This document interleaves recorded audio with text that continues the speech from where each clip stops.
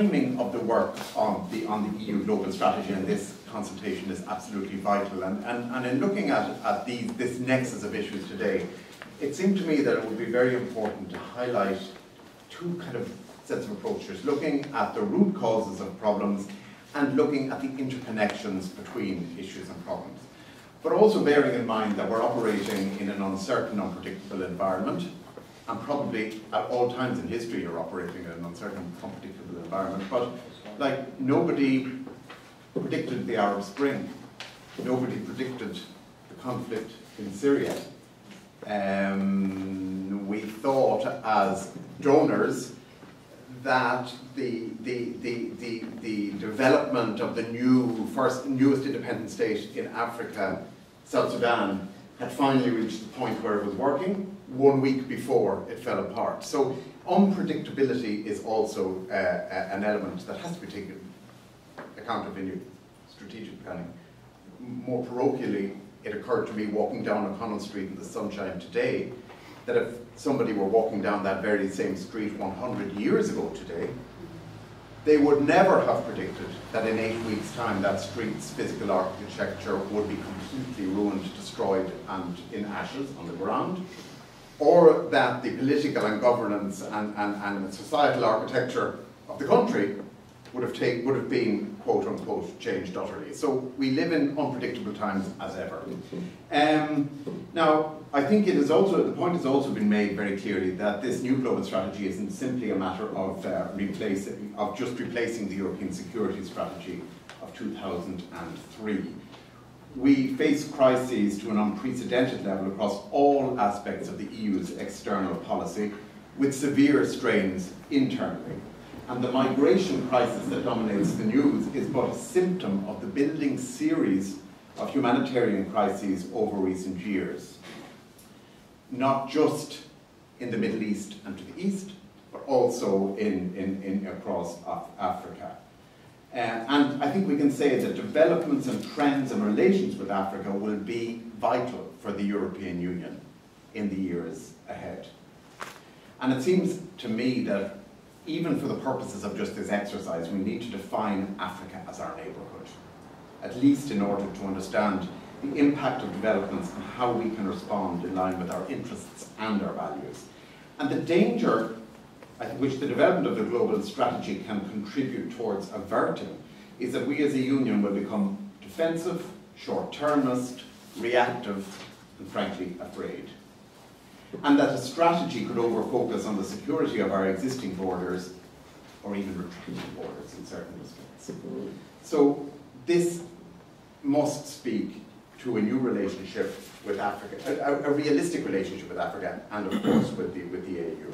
So within months of the adoption of the new framework for sustainable development in New York last September, with 17 uh, sustainable development goals to 2030, we've entered those of us working primarily on development, a period of intense debate, which you would think would have been solved by that process, on the nature of development, its relationship to politics and conflict, and the still existing divide between humanitarian work and spending, in the face of evidence which is all too clear now that the two overlap and are interdependent.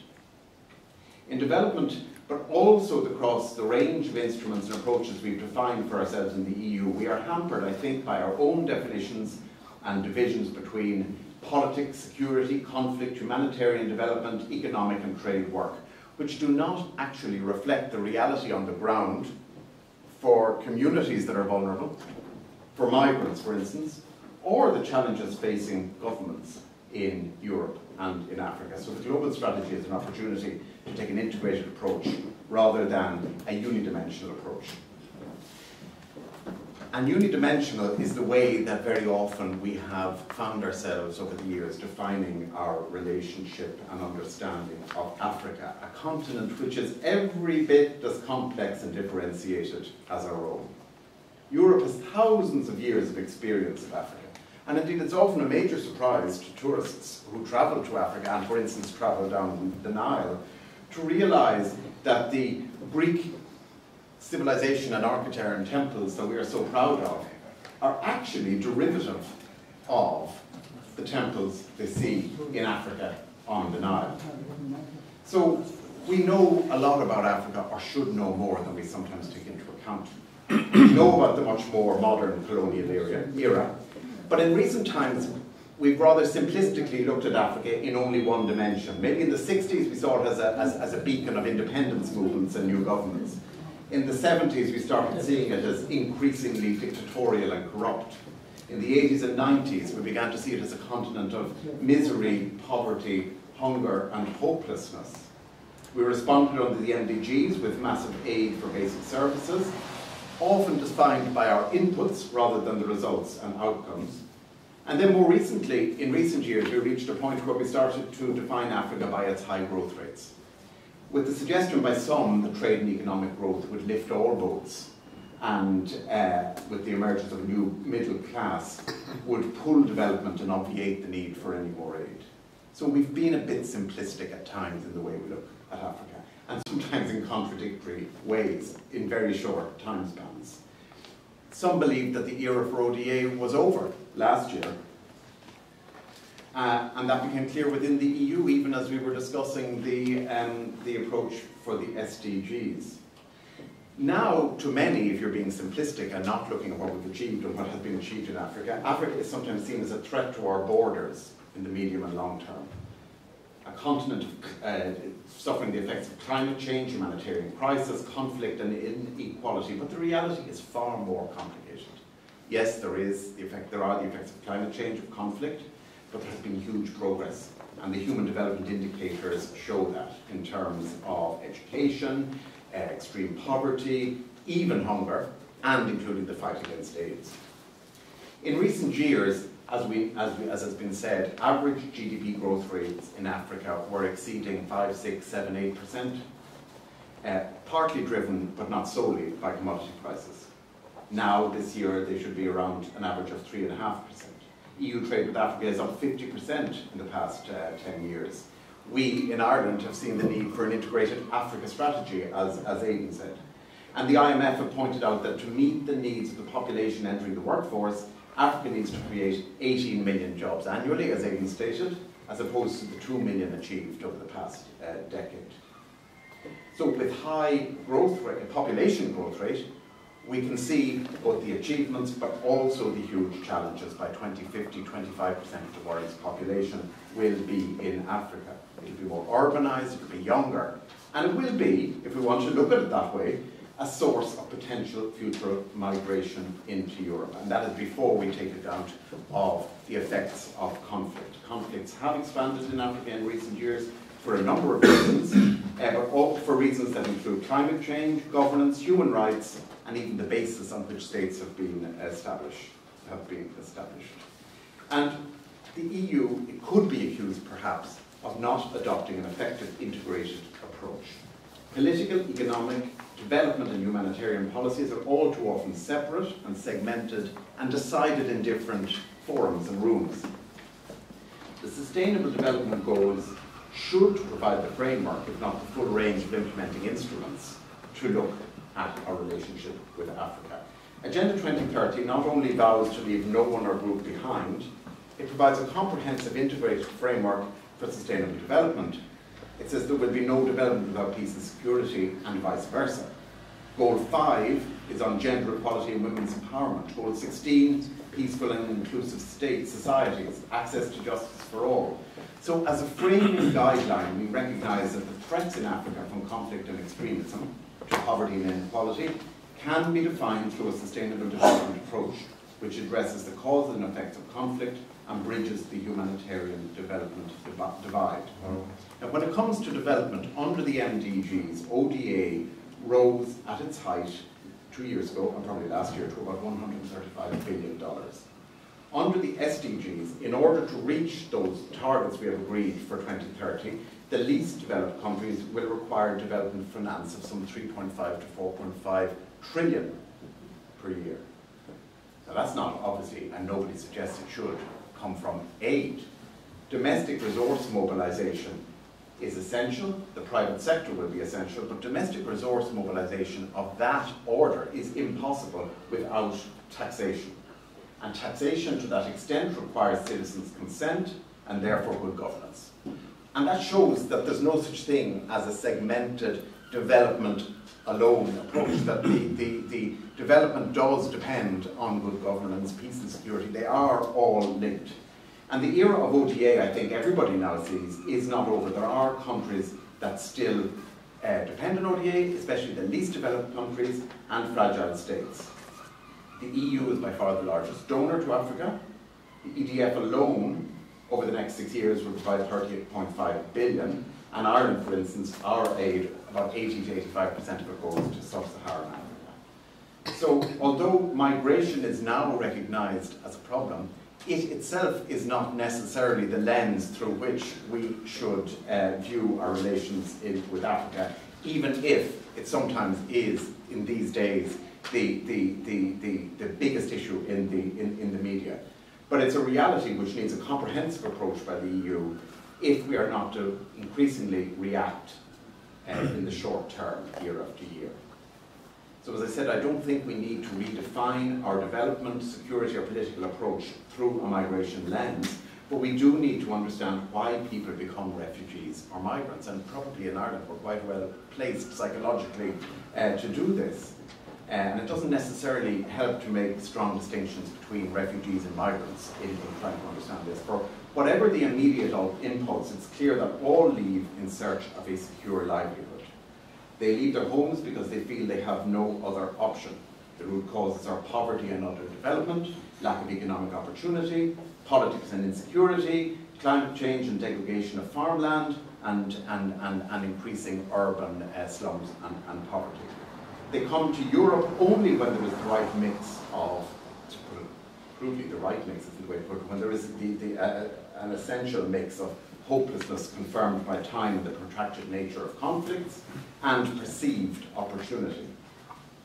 So it is increasingly being realized that conflict is driving most of the humanitarian crises which are driving what we now call irregular migration, a term I keep reading now, I wasn't fully familiar with it before. We have to look at root causes. And this is recognized in theory at least, but the pressure of events often dictates short-term emergency responses, drawn from the same financial resources available for long-term work in Africa. And the complexity is such that if we focus exclusively on the misery of those presenting themselves in boats or on our borders, we are actually focusing on those who have the initiative and the funds to get here, because they can pay the smugglers. And we are leaving the truly hopeless behind in extreme poverty. So it is absolutely critical, and this is a debate that is happening very actively now in the development sphere, to redefine our humanitarian and development approaches. Uh, and we have to do so by redirecting funding to bolster long-term gains because of humanitarian crises in Africa. I was going to, and I'll do it later, tell you the extent of those crises is actually increasing because of El, El Nino as well as conflict, and that's at the same time as recognizing the progress uh, that has been made. So we have a big, big challenge in the area of development in looking, there will not be additional funding, we know that. So we need to look more strategically at it. And I think the challenge then, and we need to look at the, at the, at the, at the commitments we've, gave, we've given to providing between 0.15 to 0.2% of our GDP in aid to the least developed countries, even while we provide humanitarian aid for crises such as in, in, in, in Syria. So finally, I would say that no global strategy with Africa will work if it fails to include or deal separately with the different dimensions of that relationship. Agenda 2030 will be tested for the first time at the World Humanitarian Summit in May and at the Migration Summit which the UN Secretary General has called for the 19th uh, of, of September. And the issues that we will address at those are exactly the issues which need to be addressed in our EU global strategy, whether they be exclusively for Africa or not. And so I would just say we need to ensure the coherence of our political, climate, economic, development, humanitarian and security interventions and approaches. We need to look at the role of the vulnerable and least powerful, and we need to look at the work we can do in areas such as agriculture. These are as valid and important uh, as, as the security response. And they are not, and a lot of them respond to our values and are reflections of our values, but if you look at it, they are also our interests. Because in, at its crudest, if migration is, what, and, and regular migration is what people are afraid of, well, the, the, the pressures in Africa are going to ensure that if we don't work coherently and strategically with Africa, that's what you'll get, is more uh, irregular migration. And it can only be dealt with through a truly partnership approach. And I would say, within the European Union, a more coherent approach across our instruments. And I would also say, just to add the other final statement, to add the other side of the, of the, of the, of the phenomenon that Aidan mentioned about Africa talking to us about colonialism, we need to we need sometimes to, to, to, to, examine how we look to Africa. And so as an EU, perhaps we need to make even more progress than we have made already in ensuring that our approaches to different issues and regions in Africa are not predominantly seen through the prism of the former colonial power in that, in that region. So we have, a, we have work to do in partnership to understand each other. I cannot emphasize how much I agree with uh, the remarks that were just uh, in, in, your final points uh, and how happy I am to be in Ireland. A country is dear to my heart for personal family reasons as well, but also that I have been discovering myself.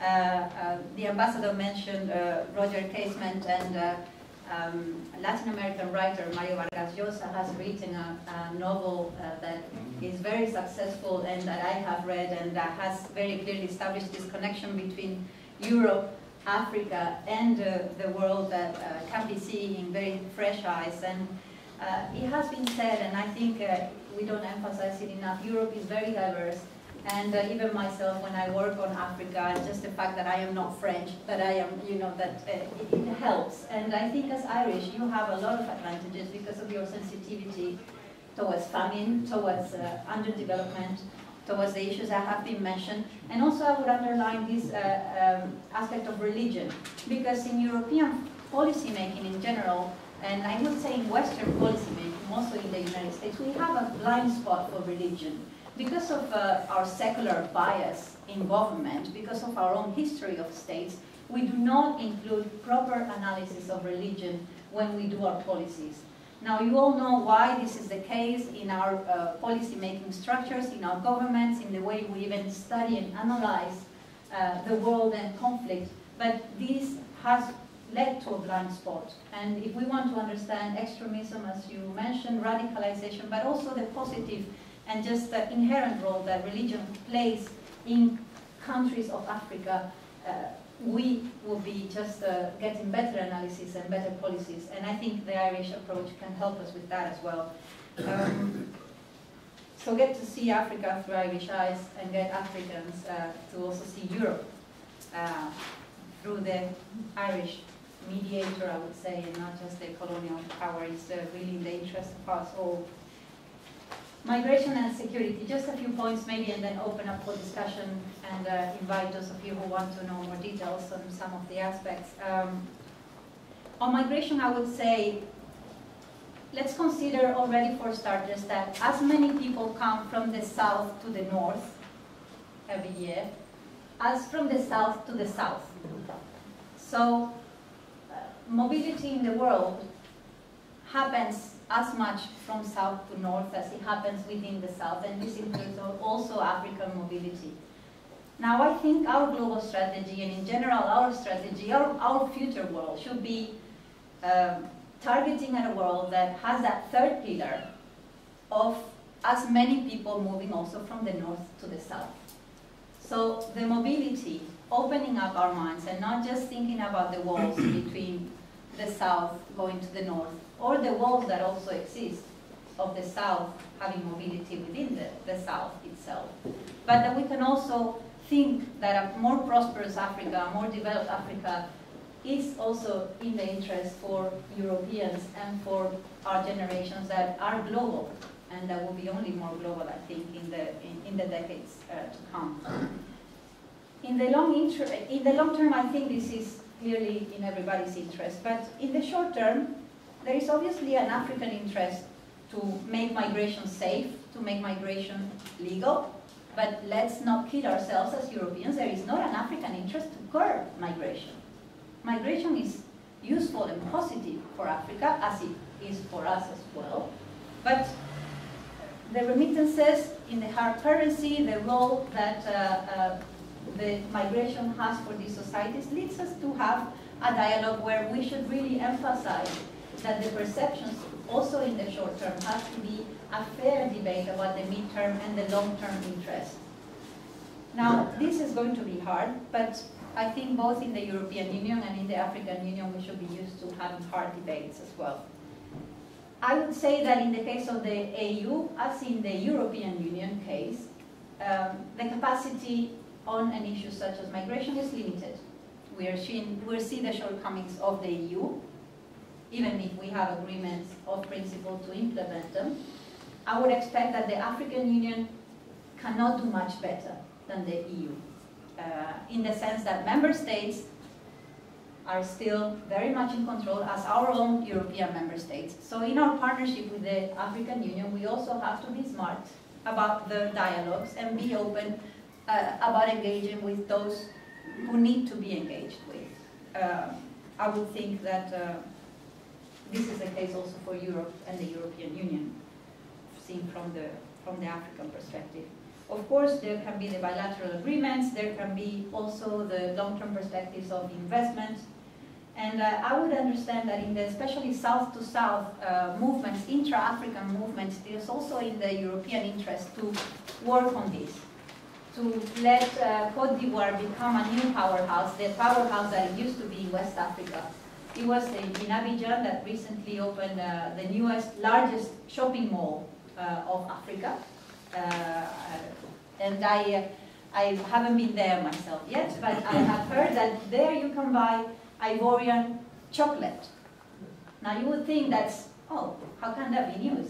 Actually, it is news, because as you know as well, coffee and cacao is exported so that the chocolates are made outside of Africa, but now you can buy Ivorian made chocolate in the shopping mall in Abidjan. So we also, with these examples, need to change our, our image of, of Africa and that this is in our interest that the industrialization, the growth towards services in these economies is uh, what the world really needs, uh, African, Europeans, and, and all.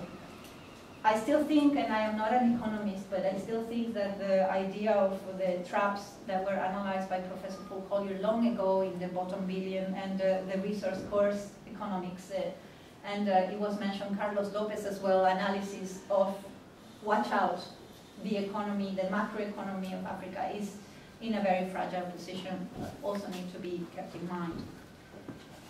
Moving on to security. I'll make um, three points. Uh, terrorism, which is of course in our uh, very, very, uh, very much in our interest. I would say that uh, a few years ago, maybe 10 years ago, African leaders thought terrorism was a Western problem. 2001, so what, now it's obviously no longer the case. This is a problem in Africa where African leaders have also realized there is a challenge. But I still think this is a bit of a wild card. We don't know how terrorism is going to play out differently uh, in Somalia, from Mali, from how it can expand into Tanzania, uh, other East Africa places, Cote d'Ivoire, Senegal, which have been spared for the time being, that we know can be very easily targeted. So it is still an area where fragility is only on the rise, and uh, the complicated picture that you were depicting, I think, is only going to get more complex. This is because the radicalization and transformation of Islam is also something that these societies maybe don't see and are you know, themselves uh, living as they go. We are observers here. We need to learn from what is being told to us and from what the analysts locally tell us. I think uh, the, the best expertise I get on, uh, on radicalization in West Africa is from colleagues in, uh, in Senegal, in Saint Louis, also Algerians, also uh, in Mali. You, we have to see how they see their societies and they can uh, teach us about the potential evolutions. Same goes for West Africa differently from East Africa. The problem of Kenya is not the same as Ethiopia. Kenyan friends uh, get a lot of pressure because they say, oh, how come Ethiopia hasn't got attacked while we are constantly attacked and the, the Shabab really uh, fester in the coasts of Kenya.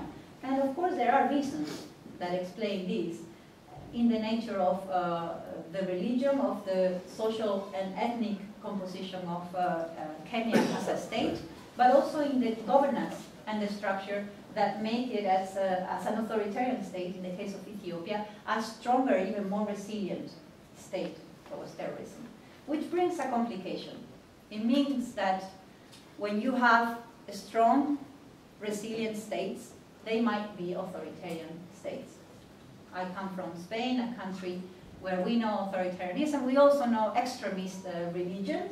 Uh, so uh, to a certain extent, uh, uh, it is uh, complex, but not unheard of and not something that should be impossible to, to think of. This is tied in the European Union, African Union uh, case to the capacity building agenda. I think this cannot be disconnected from politics and from the fact that the security forces in the African countries are also very often regime forces. And uh, that maybe in the case, of course, the case of South, Africa is a wonderful exception uh, that we can see uh, as almost uh, an ideal to, to have this cooperation for capacity building in the rest of Africa. Better than having uh, Spaniards or Irish that have gone in CSDP missions would be to have South Africans or other Africans. But the fact that not all security forces, and uh, with this we go not only into militaries, but also the security forces of police and so on, are not democratic or from democratic states, poses problems. That poses problems for our cooperation with the African Union. Why? Because, because of issues related to international law. International law and humanitarian law as well losing, so losing the war. Um, think, for example, of the Chadian army fighting Boko Haram and terrorism. The Chadian army is a very, uh, very effective army in the fight against terrorism. It has been very effective in the Lake Chad region. And it's one of the main partners for the French and the others who are active fighting terrorism in the Sahel. But, thank you. The, but the, the Chadian army uh, makes no prisoners. Nobody survives. So this is completely rolling over. So don't go ask for human rights, humanitarian law, where are the prisoners, what are we going to judge? No. So that poses a problem. It poses a problem also uh, right now, the possibility of financing um, UN operations uh, or African Union or UN because the UN traditionally does peacekeeping and what we are asking African Union to do is to enforce uh, peace, to enforce and to do peace building, not just peacekeeping. So we have that issue also of the tradition of the UN intervention and security, international security to sort out. I would say that, as it was uh, also underlined in the first uh, panel, that uh, the main conflicts in Africa are still the kind of inequality, uh, grievance-ridden uh, uh, conflict. So it is not with the fight against terrorism that we will get rid of, of violence and conflict in, uh, in Africa. And I would say as a final point, the example of Libya, which is a bit in between those two, the, the internal conflict, the terrorism or, or risk of terrorism, but also the geopolitics. When the Libyan um, crisis, if you want, derived from the Gaddafi fall um, took place, Africans came to see us and said, we told you. The African Union, the, African states were against this intervention. Europe, some European countries led intervention in Libya. We didn't listen, we have a mess. Maybe we should listen because the fragility of Chad, of Sudan, of Niger, of Central African Republic, these countries, they know their neighbors, they know each other without, so I am coming here with the same criticism that I uh, just mentioned about Chad, a legitimate uh, engagement on uh, a say in peace and intervention for security in the regions.